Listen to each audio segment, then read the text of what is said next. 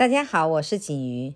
昨天客栈老板带我们看了千年大榕树，然后就在客栈聊天、喝茶、晒太阳。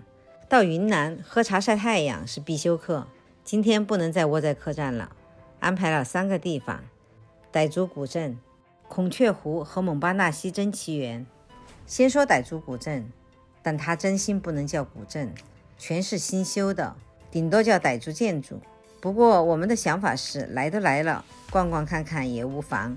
听说这里晚上更漂亮、更好玩，但晚上人也多，我们不喜欢人多，这样清静的逛逛也不错，所以也不想等到晚上了。孔雀湖是芒市的饮用水的水源地，也是当地市民休闲散步的地方，水很绿，风景不错，但不大。时间充裕可以来逛逛，时间紧张就没必要专门跑一趟。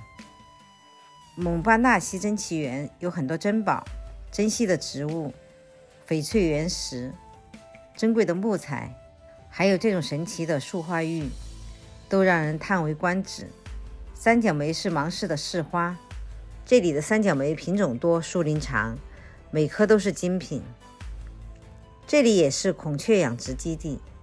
几十只孔雀轮番开屏，小时候也见过孔雀开屏，但没见过这么多孔雀。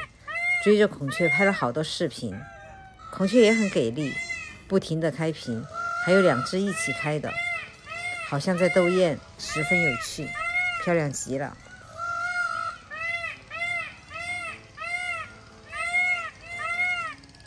今天的行程就结束了，留点精力，明天继续逛芒市。